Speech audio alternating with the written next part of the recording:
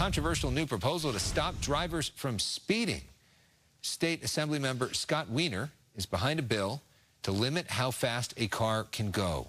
Proposal will require cars made in 2027 or later to have a device that keeps drivers from going more than 10 miles an hour over the posted speed limit.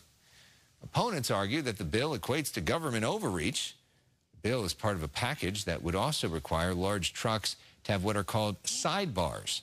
They're guardrails designed to prevent people from getting pinned underneath a truck.